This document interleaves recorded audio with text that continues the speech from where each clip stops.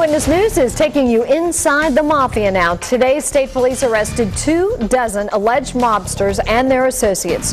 24 men accused of taking part in an illegal sports betting ring.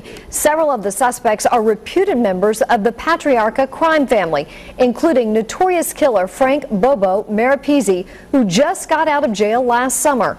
Eyewitness News reporter Catherine Sotnick has been following this story all day. She joins us now with the latest developments live with the Providence Mobile Newsroom. Well, Susan, state police say the arrests are the result of nearly a seven-month wiretap investigation.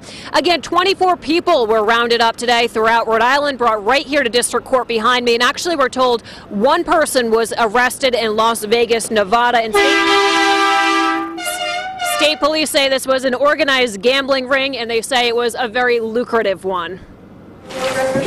One after the other, the suspects were brought into Providence District Court, including two reputed made members of the Patriarca crime family, handcuffed to each other. 68-year-old Frank Bobo Marrapese in the black leather jacket, and to the right, 65-year-old Edward Lato.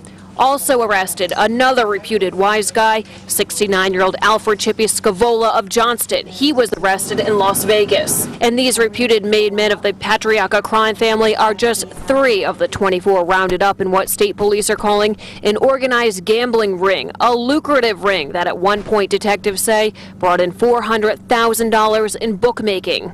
Police say those arrested bet on pro and college sports. State police also allege that Marrapese, who's on parole for a murder conviction, directed others to carry out crimes. It is alleged that Marrapese used his standing as a made mem member of the Patriarca crime family to assist, participate, and direct other co-conspirators to carry out various criminal acts to include extortion. And police say the proceeds from the ring were funneled to Lato through other members. The big guy at the head of the ring, state police say, was 49-year-old Vincent Tallow of Johnston. As for Marrapese, he was released from prison in 2008 for the 1987 murder of Richard Dickey Callei. The Attorney General's office calling the bust a great success. I think what today proves is that organized crime and corruption in the state of Rhode Island never sleeps. The good news is law enforcement in the state of Rhode Island never sleeps.